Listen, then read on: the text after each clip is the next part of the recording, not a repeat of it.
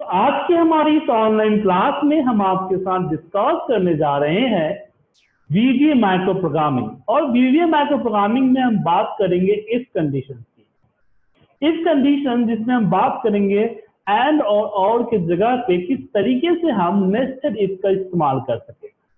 तो and and और और जब यूज़ करते हैं तो उसमें क्या होता है कि सिंगल कंडीशन के साथ मल्टीपल कंडीशन के साथ सिंगल रिज़ल्ट होता है।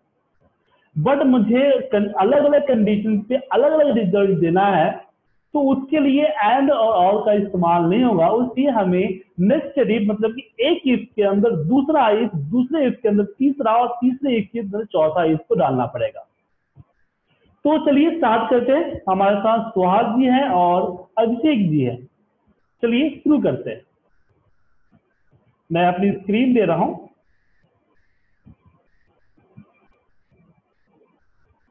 तो हम बात करने जा रहे हैं इस कंडीशन की। तो इस कंडीशन में जैसे मैं अगर एग्जांपल दू, यहाँ पे सेल्स की सबसे पहले। हमने कुछ सेल्स का फिगर यहाँ पे डाल रखा है और मुझे इसमें सब पे क्या है इंसेंटिव इंसेंटिव देना है। तो इंसेंटिव का क्या है कि 85 टू 95 हो तो यहाँ पे 500 आए। अब इसको विदाउट एंड हम कैसे करेंगे? तो इसके लिए यहाँ हम मैक्रो तैयार करते हैं। इफ़ अंडरस्कोर वन यहाँ देंगे हम फोर आई इक्वल टू चले आई इक्वल टू चले और टू से कहाँ तक नाइन तक। नाइन और फिर यहाँ पे नेक्स्ट आई और कंडीशन होगा यहाँ पे आ, मैं यहाँ पे दूँगा कंडीशन कि इफ़ रेंज ए के साथ हमने आई को लिया dot value is greater than equal to fifty then इसी के नीचे एक और एफ़ लगाएँगे कि इफ़ रेंज ए के साथ हमने आई को लिया और dot value is less than equal to eighty then यहाँ रिज़ल्ट होगा फाइनल रिज़ल्ट जो हुआ रेंज बी के साथ हमने आई को कंबाइन किया dot value equal to 500 else अब यहाँ पे दो एल्स हो सकते हैं। एक एल्स होगा जो कि अगर 85 से छोटा हुआ।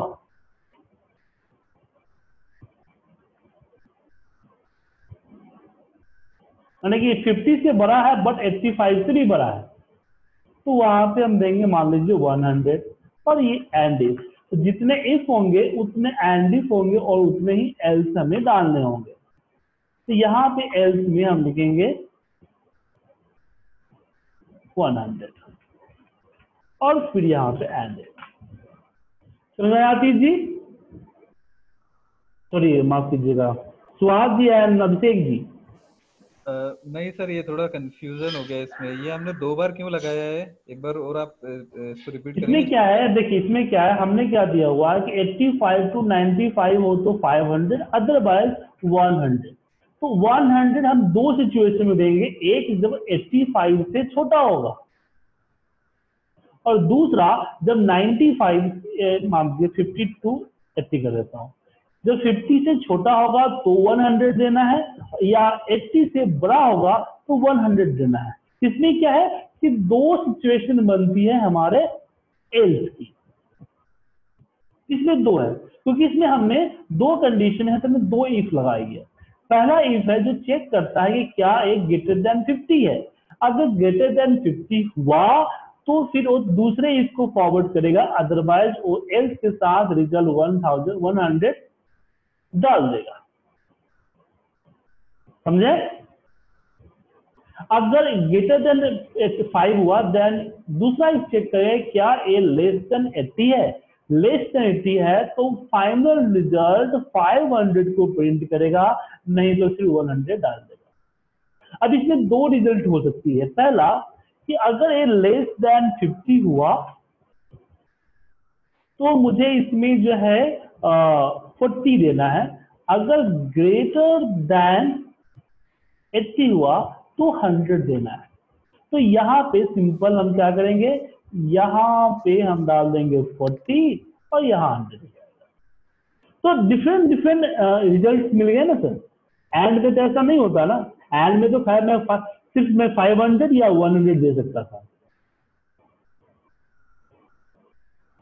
अभिषेक जी। यस सर समझ में आ रहा है कि नहीं आ रहा है? यस सर आ गया आ गया। तो जैसे हम नॉर्मली नहीं लगाते हैं यहाँ पे। हम यहाँ पे इफ़ लगाया और इफ़ ने बोला कि क्या ए ग्रेटर देन फिफ्टी है? फिर हमने यहाँ पे दूसरा इफ़ लगा दिया। क्या less than equal to eighty है? देन देन यहाँ पे five hundred otherwise one thousand और फिर बाइकल क्लोज करके कॉमा करके यहाँ पे फोर्टी करते करते हैं ना सर तो सेम चीज़ हमने वीवी में किया हुआ। ये अपना पहला इफ़ हो गया पहले इफ़ के अंदर दूसरा इफ़ हो गया, और और ये पहले इफ़ का फॉल्स पार्ट हो गया कि अगर मान लीजिए पहले ही इसने कंडीशन फुलफिल नहीं किया तो क्या शो करेगा? तो इसको शो करेगा। राइट सर समझ गया समझ गए? यस सर चलिए आगे बढ़े इसमें। यस सर सर इसमें हमने अ, अ, ये दिया है ना सिलेक्शन दिया है। नॉट सिलेक्शन सॉरी क्राइटेरिया दिया है। हाँ। इसमें हमने इफ़ लगाया इसमें हमने एंड का पार्ट नहीं किया इसमें हमने इफ़ लगाया। और इसमें हमारा नेस्टेड इफ़ में दो इफ़ लगा दिया हमने दो कंडीशन था उत- दो इफ़ लगा दिया। तो जितने कंडीशन उतने इफ़ लगेंगे। अगर आपके पास आ, इसको एंड के साथ अगर आप मान लीजिए सिर्फ़ हंड्रेड ही देना होता फिर एंड यूज़ करते लेकिन इसमें क्या था कि हमारे पास दो अलग अलग था कि भाई फोर्टी भी देना है हंड्रेड भी देना है और फाइव हंड्रेड भी देना है। तो यहाँ पे एंड नहीं लग सकता सर। सर ये ये जो next next next if condition जो है ना इफ़ के अंदर इफ़ में देते हैं ना तो ये एंड इफ़ कब लगाते हैं एंड इफ़ सबको मिला के एक एंड इफ़ लगाना है? हर एक। इफ़ एल्स इफ़ जब होता है तब एक ही इफ़ देना होता है। जब अब एक इफ़ के दूसरा इफ़ दूसरे तीसरा इफ़ इंडिविजुअल इफ़ होता है उसमें आपको जितने इफ़ उतने एंड इफ़ लगाना है। ओके जैसे एग्जांपल मैं अगली एग्जांपल दिखाता हूँ आपको। मेरे पास यहाँ पे नेम है और यहाँ पे सब्जेक्ट है।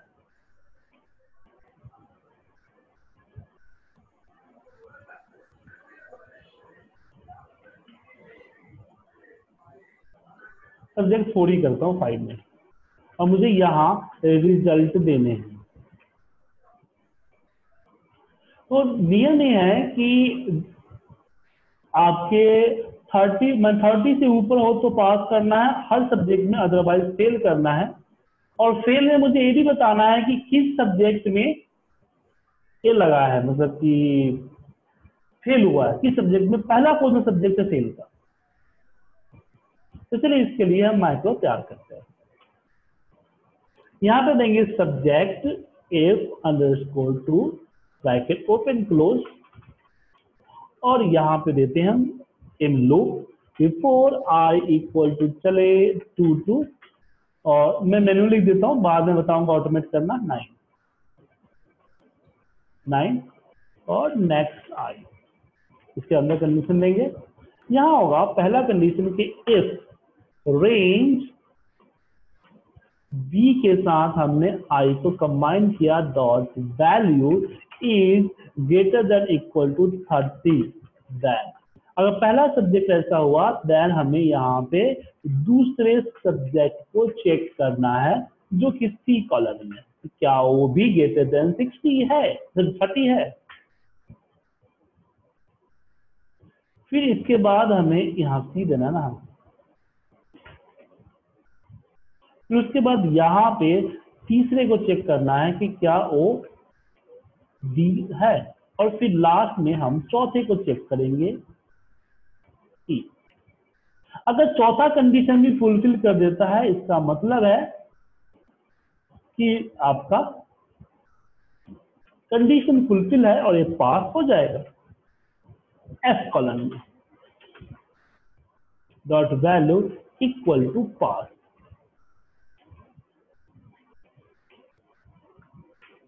but problem ये है कि अगर फेल हुआ तो चौथा कंडीशन फेल हुआ तो हमें एल्स देना है और एल्स में हम देंगे यहाँ पे रेंज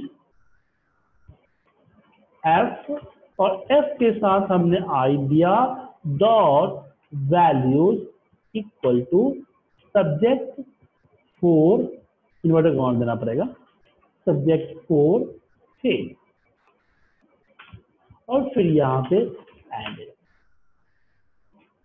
अब जैसे मैं इसको एकदम मैंने कि इस तरह से ऊपर से नीचे से शिक्षा ला रहा हूँ तो ऐसा मतलब है कि ज़रूरी है। मैं इसे लाऊं ताकि समझ सकिए कौन सा एल्स किस इफ़ का है। समझ रहे हैं सर? हाँ सर ये समझता नहीं है सर मोस्ट क्या बोल रहे हैं? सर ये जो हमने इफ़ इफ़ लगाया ना तो ये जो लास्ट में हम एंड इफ़ लिखते हैं ना हम्म, ये एंड इफ़ में समझता नहीं सर मैंने एक लास्ट टाइम एक प्रोग्राम किया तो उसमें मुझे बहुत दिक्कत हुआ था ये अंडरस्टैंड सिंपल सी बात है जितने इफ़ है उतने एंड इफ़ होगा। अब देखिए जैसे ए यहाँ पे इफ़ हुआ एल्स हुआ और एंड इफ़ हुआ। जैसे आप नहीं बताया आपको जब आप नॉर्मल एक्सेल में फॉर्मूला लगाते हैं तो कितने ब्रैकेट क्लोज करते हैं? ब्रैकेट क्लोज कर रहे हैं ना सर? ओके ओके तो जितने आप इफ़ लगाते हैं उतने ही तो ब्रैकेट क्लोज करते हैं ना आप हाँ हाँ हाँ। जो ब्राइटर क्लोज हो रहा है दैट इज़ एंड इफ़ और ये जो फॉल्स पार्ट वैल्यू फॉल्स लिखा हुआ है it is else okay okay. समझ गया ना? Okay okay sir. जैसे कि आप यहाँ देख रहे हैं ना हमारे इस प्रोग्राम में कि हमने इस इफ़ को लगाया हमने कंडीशन दिया एल्स दिया और एंड इफ़ दिया तो ये जो एंड इफ़ हुआ इसका हुआ। करेक्ट करेक्ट ये मैंने यहाँ पे वापस एल्स किया और फिर हमने मैसेज फॉल्स कंडीशन दिया और हमने यहाँ पे एंड किया। वो इसका हो गया। इसके इसका हो गया। गया। इसलिए मैंने इसको सीख में रखा ना ताकि पता चले कि हाँ इसका एंड इफ़ है। हाँ हाँ हाँ हम हमें टोटल कितने इफ़ लगाए? वन टू थ्री फोर हमें फोर एल्स और फोर एंड देना होगा। करेक्ट करेक्ट करेक्ट तो हमने अभी कितने दिए? दो दिए हैं। तो मतलब कि हमारे पास अभी दो बाकी है। हाँ। तो यहाँ पे एल्स करेंगे और एल्स और फिर यहाँ पे देते हैं रेंज और ये जाएगा एफ़ और हमने I dot value is equal to S two से। क्योंकि दूसरा इफ़ है ना? देन लास्ट सी के लिए। हाँ।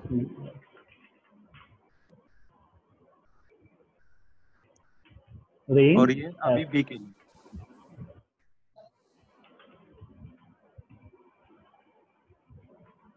value equal to S one से। तो इससे क्या हुआ कि आपको पता चल गया ना कि ए इफ़ है तो ए एल्स है। या नीचे एंड इफ़ करना भूल गया ना। और यहाँ भी एंड इफ़ करना भूल गया। समझ आया कि नहीं सर? तो सबसे पहले क्या चलेगा? पहले इसको चलेगा और चेक करेगा कि वैल्यू ग्रेटर देन थर्टी है या नहीं है। अगर वैल्यू ग्रेटर देन थर्टी है तो फिर दूसरे को फॉरवर्ड दूसरे को फॉरवर्ड करेगा। दूसरा चेक करेगा, अगर मिला तो तीसरे को फॉरवर्ड करेगा। तीसरा चेक करेगा, अगर मिला तो चौथे को फॉरवर्ड करेगा। और चौथा चेक करेगा, अगर है तो रिज़ल्ट कर देगा पास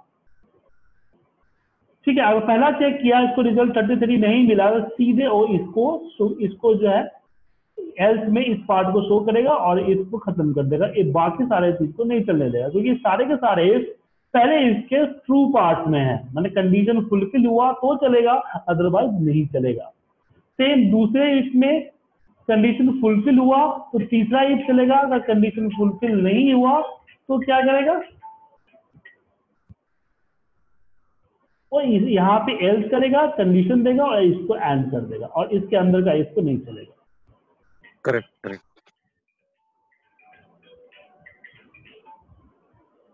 समझ गए?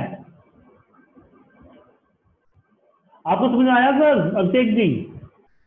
हाँ सर समझ में आ गया। बाकी ये जो हमने सब्जेक्ट सर ये सीक्वेंस लिखे हैं S four S three S two S one ये हमने सिर्फ़ अपने अंडरस्टैंडिंग के लिए लिखे हैं। अगर हम इसको एस वन एस टू करके लिख देंगे तो भी कोई प्रॉब्लम नहीं है ना? हाँ ये मैसेज आप इन्वर्टर का कुछ भी दीजिए ना सर। अच्छा ठीक है। ठीक है मैं रन करके देखूँ एक बार? या सॉरी मैं गलत जगह पर रन कर गया। हाँ यहाँ रन करना है ना।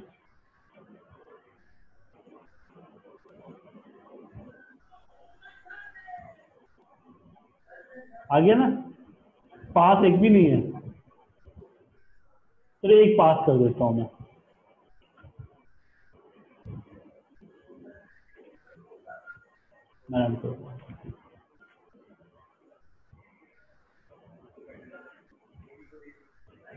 ऐसा सही अब मुझे अगर और करना हो तो जैसे कि मान लीजिए कि हमें यहाँ आईडी प्रूफ मैच करना है। तो यहाँ पे हमारे सामने नेम है। और इसमें दिया गया है कि PAN number voter I card DL और यूआईडी आप दे सकते हैं। तो जिसमें वाई लगा होगा, इसमें वाई एक भी लग सकता है और एक से ज़्यादा भी लग सकता है। तो स्टेटस में ओके देना है कि एक हुआ या एक से ज़्यादा हुआ तो ओके देना है। ठीक है सर? कैसे करें? तो इसमें एक ही है, एक ही चला रहा हूँ तो इसमें लूप नहीं लगा रहा हूँ मैं, ठीक है? अब यहाँ पे देंगे हम else if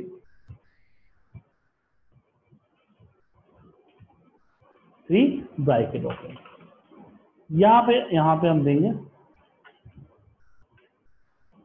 कि range B two dot value equal to Y है. देन रेंज कौन सा है एफ़ टू ए भी हो एफ़ ही है ना हाँ F F two dot value equal to okay अब यहाँ पे एल इफ़ लगेगा, ठीक है? देन रेंज सी टू हो जाएगा। C two dot value equal to Y then अब इसी को हम कॉपी करते चले जाएँगे नीचे। C two D two D two और यहाँ पे ई टू अब लास्ट में फिर देंगे हम एल्स इसमें कोई कंडीशन नहीं होगा और यहाँ पे होगा पेंडिंग और इसमें हम सिर्फ़ पेंडिंग यहाँ पे देता हूँ। इसमें देंगे हम सिर्फ़ एक ही एंड एस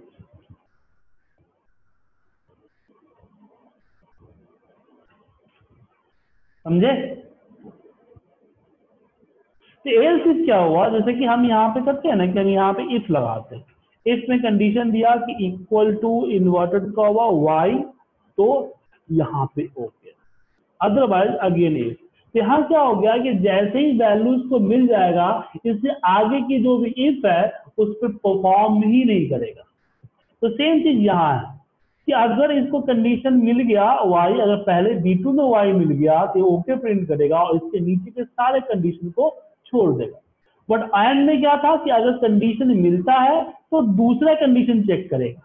बट यहाँ क्या है कि कंडीशन मिलता है तो कोई और कंडीशन चेक नहीं करेगा रिज़ल्ट देगा और बाहर निकल जाएगा। तो दिस इज़ एल्स इफ़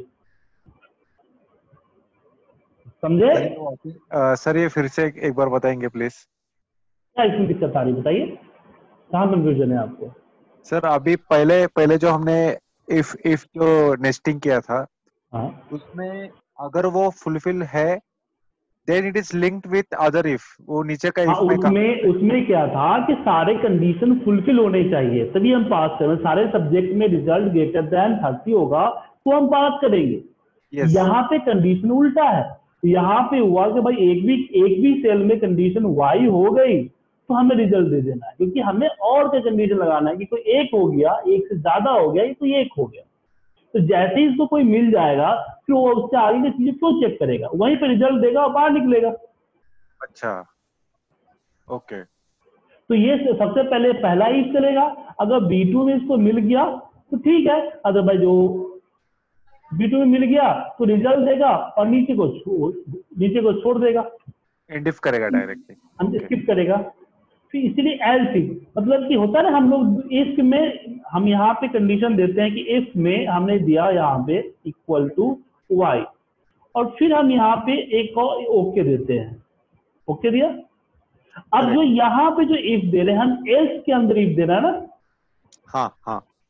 तो यहाँ पे एल्स के इफ़ दे रहे हैं तो इसलिए यहाँ हो जाएगा else if okay sir. Okay. Now understood समझ गया ना? और पता चल गया। हाँ। तो इसमें जो है एंड इफ़ एक बार लगेगा। क्योंकि इसका एक ही इफ़ चल रहा है। बाकी तो एल्स इफ़ है ना। इसी इफ़ का पार्ट है। देखिए ऐसा समझ में नहीं आएगा जब तक कि आप इसका एग्ज़ाम्पल ट्रिगर नहीं करेंगे। सर ये ऊपर का जो है अपने अपने जो क्वेश्चनरी दिए थे ना Q1 Q2 Q3 ये उसमें भी था ऊपर जो आपने दिया है ना। हम्म, वो मैंने एक्चुअली ट्राई किया है। मैंने आपको मेल भी किया है सर। पहले के question one two question five मुझे अच्छी तरह से आ गए। बट आगे का आप थोड़ा जो है ना आप जो है एंड इस एंड इस नेस्टेड इफ़ के मेथड को उस क्वेश्चन में आप यूज़ करके देखें। ओके सर ठीक है? आप भी अब देख जी ये कॉम्प्लिकेटेड है थोड़ा सा स्लोली सीखे और पूरी तरह समझ के सीखे। जैसे इफ़ आपको बिल्कुल समझ में आ गया ऐसे नेचुरली भी समझ में आना चाहिए। क्योंकि सिर्फ़ इफ़ यूज़ नहीं करेंगे आप। आप अपने प्रोग्रामिंग में इसी तरह की कॉम्प्लिकेटेड कंडीशन को करने के लिए कई सारे इफ़ का कंबाइन करेंगे उसकी कॉम्प्लिकेशन बनाएँगे और उसे यूज़ करेंगे। Yes sir okay sir if में सर इफ़ में इतने ही है ना एक आपने जो नेस्टेड इफ़ दिखा है वो जो हमने पहला सीखा था वो वाला और अभी जो लास्ट में आपने अभी मैंने इफ़ बताया फिर ऐप को मैंने एल्स बताया। तो एक तो हुआ इफ़ इफ़ के अंदर इफ़ बताया देन एल्स बताया उसके बाद और भी है सिलेक्ट केस भी है स्लैबिंग भी है स्लैब बताओ अभी आपकी इसकी तीन चार क्लास और चलेगी sir don't worry okay sir मैंने पहले ही बोला था कि इसको हम पढ़ेंगे स्लोली स्लोली ठीक है ना?